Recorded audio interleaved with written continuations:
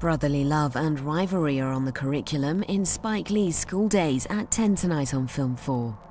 Before that, though, a formative portrait of first loves in an Oscar winning short from Peggy Rajski. Trevor.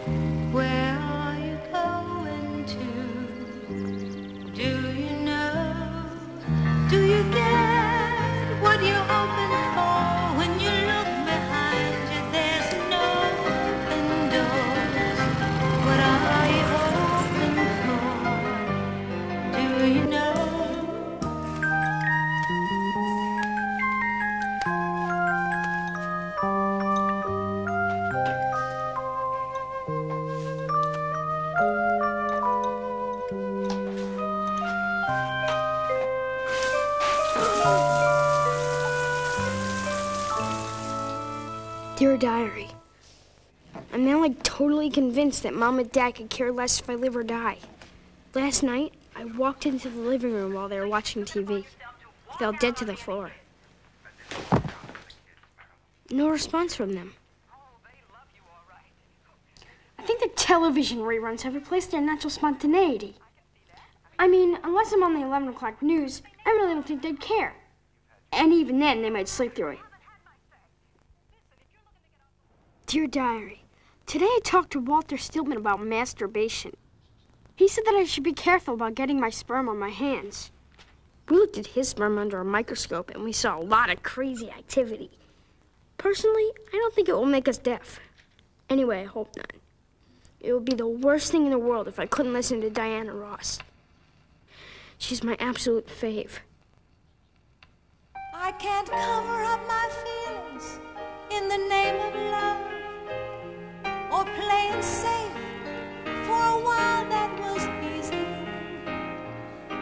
And if living for myself is what I'm guilty of, go on and sentence me. I'll still be free. I definitely decided to be Diana Ross for Halloween. Diana had to endure a lot of prejudice while she was starting out, and I will probably have to too. I hope you'll understand. This time's just for me because it's. Dear Diary, I've become best friends with Pinky Faraday. You would think that a guy named Pinky would be, well, you know, but he's not. He's the star of the intermediate baseball team in town and everything. Being friends with him means so much to me. It's the next best thing to being popular myself. I think that if someone came to town with a machine gun or something and threatened to kill Pinky, I'd offer myself instead. He definitely deserves to live. Dear Diary, everybody cool is making out at the Quality Courts Motel. No. Kathy Quinn invited me. She said it wouldn't mean anything. It would be a controlled experiment. Stop that. But to tell you the truth, I had no trouble controlling myself. It's not that she's not attractive. It's just that I've had other things on my mind.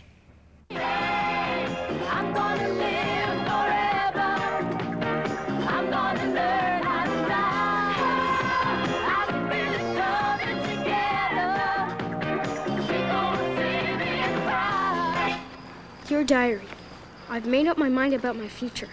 And tonight, I explained it all to Pinky. I told him, Pinky, I've decided that the theater is to be my life. Cool. Pinky is so understanding. He is encouraging me totally in this pursuit.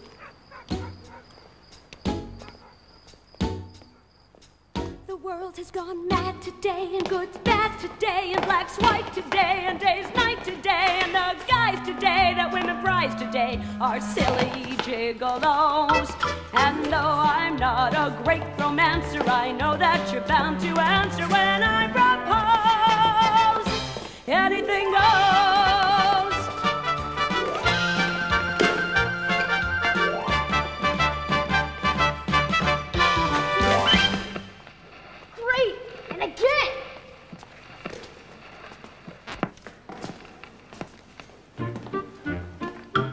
Diary, last night I was totally and truly happy. Pinky walked me almost all the way home after play practice.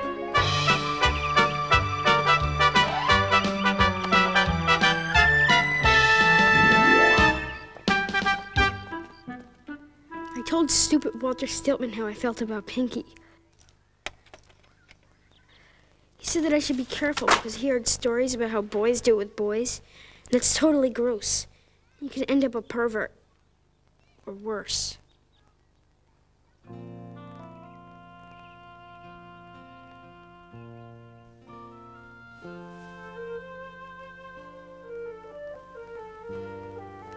I've decided to undergo voluntary shock treatments. Hopefully, this will cure me of having dirty dreams about naked men. And Pinky.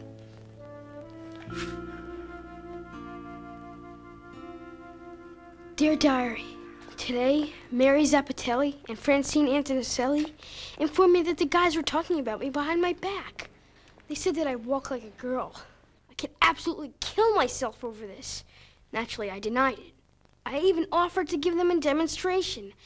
And when I was finished, I turned around, and Mary and Francine were looking at me as though I really had just killed myself. I've definitely decided not to be Diana Ross for Halloween. Dear Diary, today I practiced for my funeral. It has been that kind of a day. Absolutely the worst day of my life ever. I called Pinky at home last night. His mother answered, and she said that Pinky couldn't speak to me and that I should try not contacting him anymore.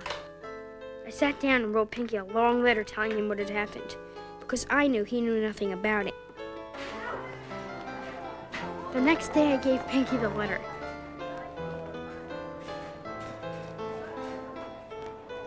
At lunch, he gave me one back. It said that I was a fairy, a weak person, and maybe didn't even deserve to live.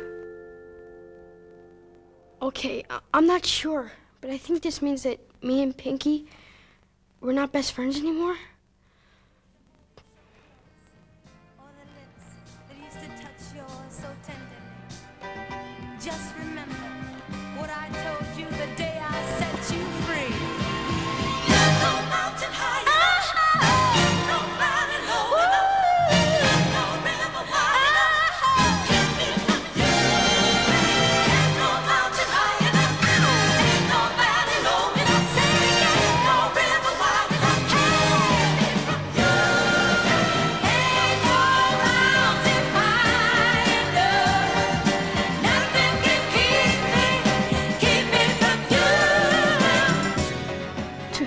Concern, I'm now like a prisoner of my own life. Mom found my diary and read it. Dad, too. I am now a person with no future and a past too horrible to think about. Pray for me. Bye-bye. Father Joe came by our house today and took me for a ride to the Dairy Cream. I should have been suspicious. I mean, to begin with, we're not that religious. But it was only after I ordered my black and white sundae and was sitting in the front seat of his car like a total stooge that I realized this whole thing was a miserable setup between my parents and Father Joe. The man's penis becomes blood engorged. It's hard. And the man inserts it into the vagina of the woman, which is lubricated with its own natural juices. I swear it was like Gag City. And just when I thought it was grossed out to the max and humiliated to the point of never wanting to have sex with a single living person for the rest of my totally sorry life, Trevor? Have you ever had desires?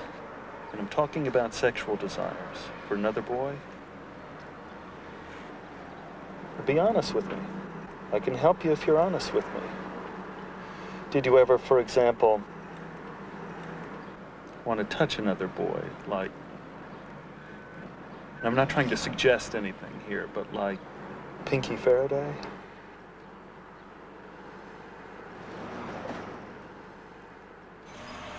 I've decided to start a new life. I'm going to change.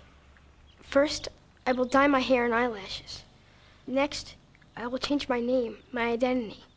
Then I'll change schools. And maybe I'll go to Mexico. And as of now, I'm definitely changing my religion. Trevor? Dear Diary, today in English class, Mr. Keenis asked me to read aloud from my report on the short story. I chose for my topic the loss of innocence as reflected in literature.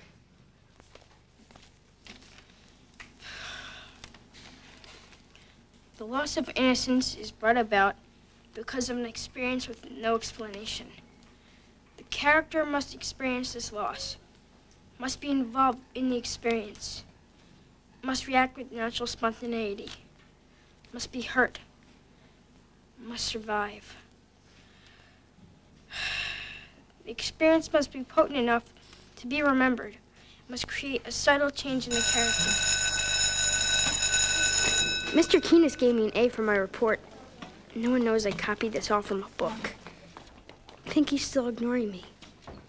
I must be invisible. Dear Diary, sometimes I imagine that I will lead an extreme and glamorous life somewhere in the tropics. Sometimes I imagine that I will be famous and everyone will want to be photographed in my presence. Sometimes I imagine that will die an early death and everyone will be sorry.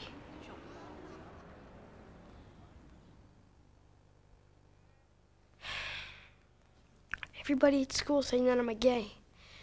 It must be showing. But I look at myself and I don't see anything that's different.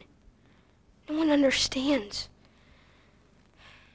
My life is now an obvious tragedy. Dear Mom and Dad, I don't want you to think I haven't given this a lot of thought, but I have. I tried to cure myself, but nothing worked. Don't think it's your fault. It just happens. Please give all my Diana Ross records and tapes to Christy Monastera, who happens to love Diane as much as I do. And please, if it's possible, play Endless Love at my funeral. It's my absolute fave. And don't cry too much. It would have been a skillion times worse if I had lived. Your loving son, Trevor.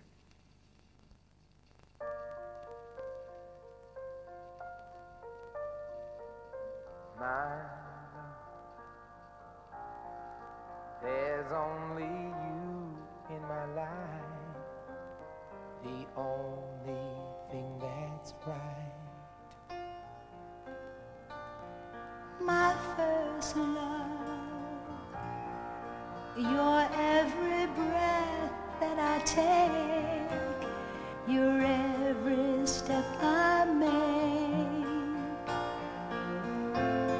And I,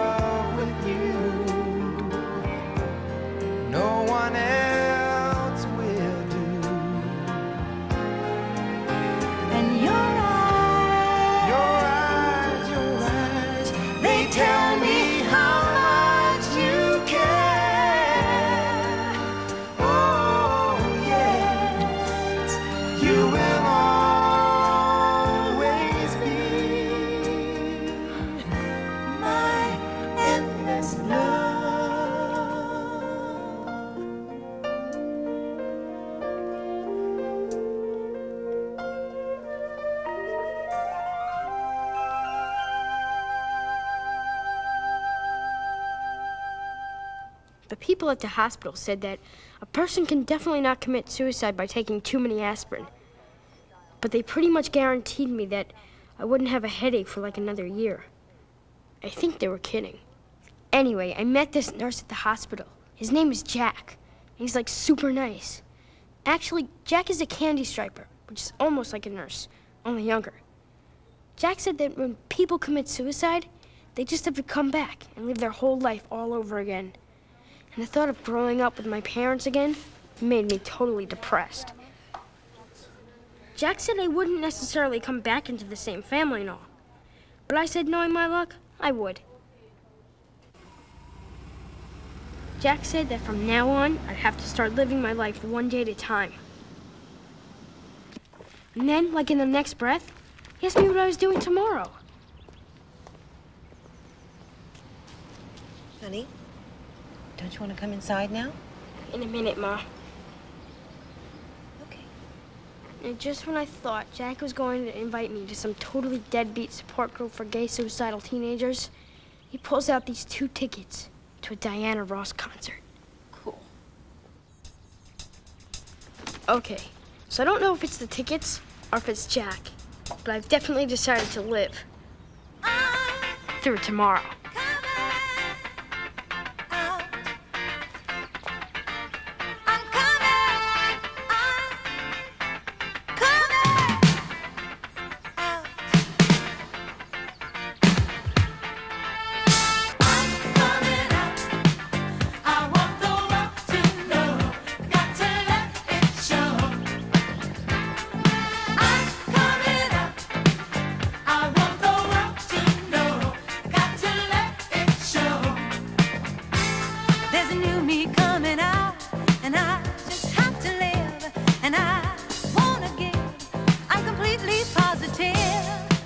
Tarantino connection continues with Spike Lee's first big budget feature next tonight, including an early big screen role for Samuel L. Jackson School Daze.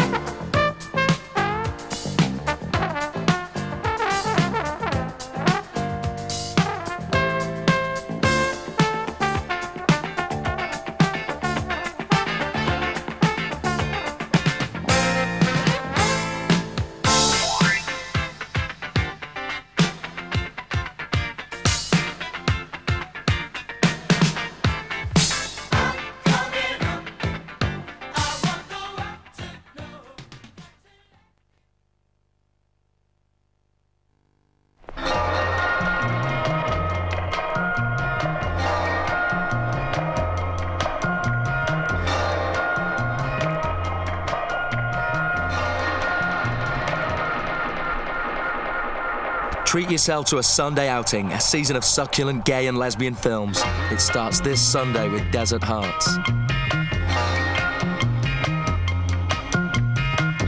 Welcome to the club, partner.